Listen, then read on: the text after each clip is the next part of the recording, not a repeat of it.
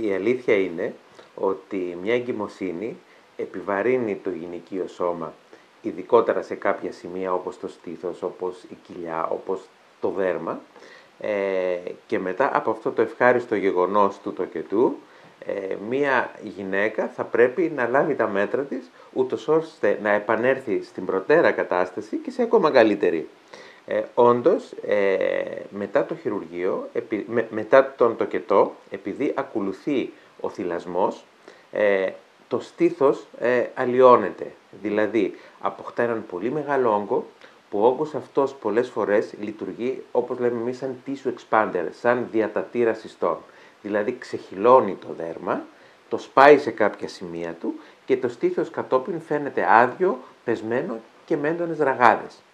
Άρα εμείς καλούμαστε να διορθώσουμε αυτή τη βλάβη, η οποία είναι και η μέγιστη μπορώ να πω μετά από μία εγκυμοσύνη ε, και αυτό γίνεται συνήθως χειρουργικά. Δηλαδή, κάνουμε τη λεγόμενη ανόρθωση στήθους, ε, αφαιρούμε το περίσσιο δέρμα, βάζουμε, τοποθετούμε τη θηλή στη θέση που πρέπει και αποκαθιστούμε τον όγκο βάζοντας ένα ένθεμα σιλικόνης, ε, οπότε κατά αυτόν τον τρόπο ε, το στήθος αποκτά πάλι μια νεανική σφριγγυλή όψη, βρίσκεται στη σωστή θέση και αποπνέει τη θηλυκότητα που πρέπει να αποπνέει το, το στήθος μιας γυναίκας. Μετά από πόσο καιρό επιτρέπεται να κάνουμε όλα αυτά που μόλις μας ε, περιγράψατε; Ε, αυτό είναι σχετικό. Δηλαδή, εάν υπάρξει θυλασμός μετά τον τοκετό, θα πρέπει να ολοκληρωθεί ο θυλασμός, να περάσουν δύο μήνες από την ολοκλήρωσή του τουλάχιστον και μετά, αφού το στήθος θα έχει πάρει την τελική του μορφή, τη μετά το θυλασμό μορφή,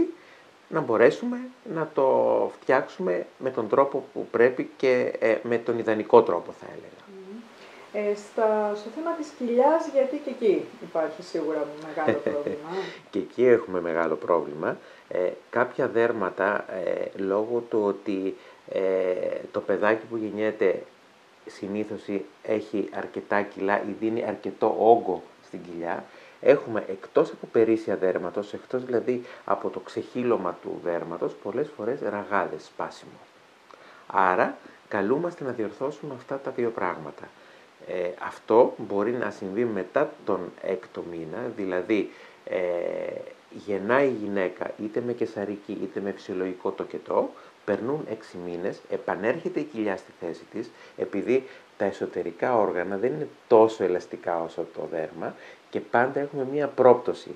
Άρα, εάν τη διορθώσουμε άμεσα, παλιά έλεγαν κάποιοι, α, την κοιλιά να την κάνουμε αμέσως μετά τον τοκετό.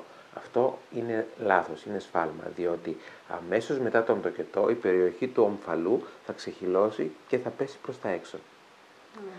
Για να τα αποφύγουμε λοιπόν αυτό, περνά το εξάμεινο, η κοιλιά επανέρχεται στη θέση που θα είναι μόνιμη πια, αυτή θα είναι η μορφή της κοιλιάς μας και μετά επεμβαίνουμε.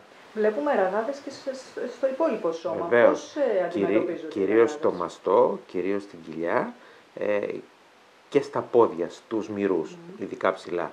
Ε, εάν έχει προηγηθεί ένα χειρουργείο στην κοιλιά ή στο μαστό, αφαιρείται ένα μεγάλο μέρος τους.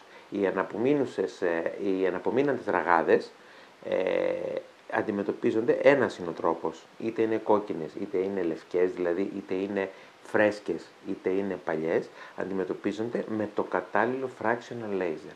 Δηλαδή, fractional laser υπάρχουν πολλά. Όταν λέμε fractional, ε, εννοούμε τεχνική, είναι σαν να λέμε αυτοκίνητο. Αυτοκίνητα υπάρχουν 15 μάρκες, άλλα καλύτερα, άλλα χειρότερα. Το μόνο λοιπόν laser που έχει ε, ένδειξη FDA ότι βελτιώνει τις ραγάδες είναι ένα, είναι η κεφαλή XD συγκεκριμένα της Palomar, ε, η οποία πλάθει ιστούς, ε, οθεί τους συνοβλάστες να παράγουν κολαγόνο και ελαστίνη με το τραύμα που κάνει, οπότε γεμίζουμε γιατί η ραγάδα είναι σπάσιμο στο δέρμα, στο χώριο. Άρα δεν μπορούμε να το διορθώσουμε με άλλον τρόπο. Πρέπει να γεννηθούν ιστοί από κάτω και να γεμίσει αυτή η ραγάδα. Με αυτό το λέιζερ λοιπόν και με επαναλήψεις του μπορούμε να βελτιώσουμε πάρα πολύ τη ραγάδα έως και 70% και εάν είναι μικρή ή φρέσκια ακόμα και να την εξαφανίσουμε. Οπότε αυτά τα τρία μέρη διορθώνονται με χειρουργείο.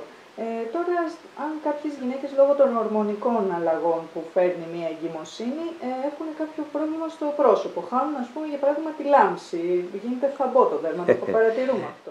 Τώρα, τώρα πιάνεται ένα άλλο πολύ μεγάλο θέμα που το αντιμετωπίζει το 100% των γυναικών που γεννούν.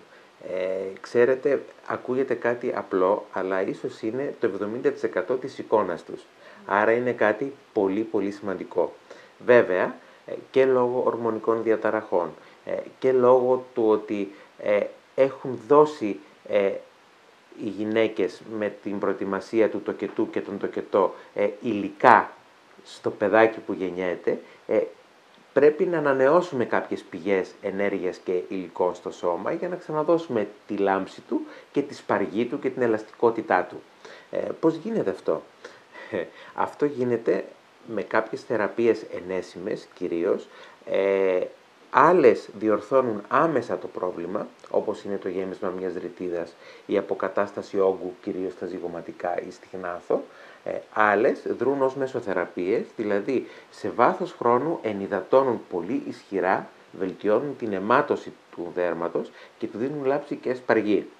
Το ερώτημα είναι ε, πότε είναι η κατάλληλη στιγμή να γίνει αυτό, ε, που είναι πολύ σημαντικό.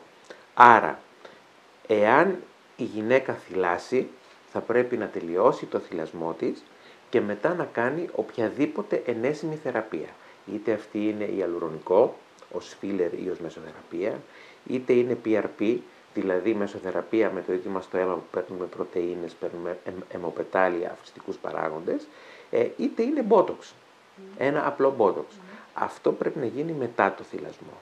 Ε, εάν δεν θυλάσει, μπορεί 15 μέρες μετά τον τοκετό να ξεκινήσει να κάνει στο πρόσωπό της τα λέιζερ της ε, τα ενέσημά της, τις μεσοθεραπείες της, ε, τα οποία σε βάθος χρόνου, σε δύο-τρεις μήνες, θα έχουν αλλάξει τη μορφή του προσώπου και θα έχουν επαναφέρει στην αρχική μορφή. Αυτό ισχύει και για το λέιζερ. Για παράδειγμα, ξέρω ότι για να εξαφανιστούν οι πανάδες, που πολλές φορές λόγω εγκυμοσύνης δημιουργούνται πανάδες. Εγώ δεν ξέρω γιατί, αλλά το έχω ακούσει. είναι λογικό, είναι ορμονεξαρτώμενες πολλές. Ωραία. Ε, οι, οι πανάδες αντιμετωπίζονται με κάποιο λέιζερ. Βεβαίως. Αυτό με επιτρέπεται; με ειδικές κεφαλές λέιζερ. Ε, αυτό επιτρέπεται ε, μετά τον τοκετό, γιατί κατά τον τοκετό ε, όταν έχει λάμψει το λέιζερ επηρεάζει το οπτικό νεύρο του ευρείου. Άρα, άρα κατά την εγκυμοσύνη απαγορεύεται ρητά να γίνει ακόμα και λέιζερ. Μετά την, ε, τον τοκετό μπορεί να το κάνει γιατί ξέρετε ε, το να έχουμε μελαχρωματικές βλάβες είναι πάρα πολύ συχνό. Και δεν είναι μόνο στο πρόσωπο οι μελαχρωματικές βλάβες. Μπορεί να είναι στους μαστούς, μπορεί να είναι στα εξωτερικά γεννητικά όργανα, τα οποία γίνονται ρηγνωμένα και πιο σκούρα. Άρα με τις κατάλληλες κεφαλές, οι οποίες αποχρωματίζουν αλλά δεν προκαλούν ρίκνωση, αυτό είναι πολύ σημαντικό ε, και να το λάβετε υπόψη σας, γιατί υπάρχουν και άλλες κεφαλές που αποχρωματίζουν και κάνουν ρίκνωση. Αυτό είναι μεγάλο σφάλμα. Ε, μπορούμε να αντιμετωπίσουμε και αυτό το πρόβλημα και μάλιστα ε, σας πληροφορώ ότι ε, τα τελευταία δύο με τρία χρόνια είναι η πλέον ζητούμενη θεραπεία λέιζερ μετά από τον τοκετό. Ε, αυτό που θέλω να πω είναι ότι ε, όσον αφορά την αυξητική μαστόν για παράδειγμα, ε, ότι όταν το στήθος ταλαιπωρείται μπορούμε και το διορθώνουμε. Ε, με τον τρόπο που είπαμε, βάζοντας ενθέματα και κάνοντας τη λεγόμενη μαστοπηξία, ανόρθωση του μαστού. Ε, θυλασμό ε, κάποια γυναίκα μπορεί να κάνει ακόμα και όταν έχει κάνει αυξητική πριν την εγκυμοσύνη της, πριν τον τοκετό της. Αυτό ήθελα να σας το ρωτήσω, γιατί πολλές φορές λένε οι γυναίκες να κάνω ας πούμε, ένα δεύτερο παιδί. Έτσι, ακριβώς. Είτε αν κάνει ένα δεύτερο παιδί, είτε πολλοί λένε περιμένω να γεννήσω πρώτα και μετά να φτιάξω το στήθος μου. Αυτό είναι σφάλμα. Γιατί, γιατί ο τρόπος που κάνουμε το χειρουργείο και η θέση που μπαίνει το ένθεμα σιλικόνης δεν επηρεάζουν κατά κανέναν τρόπο τον θυλασμό, απλά αυτό που πρέπει να πούμε είναι ότι δεν θα μπορεί να θυλάζει για τέσσερις μήνες μετά το χειρουργείο.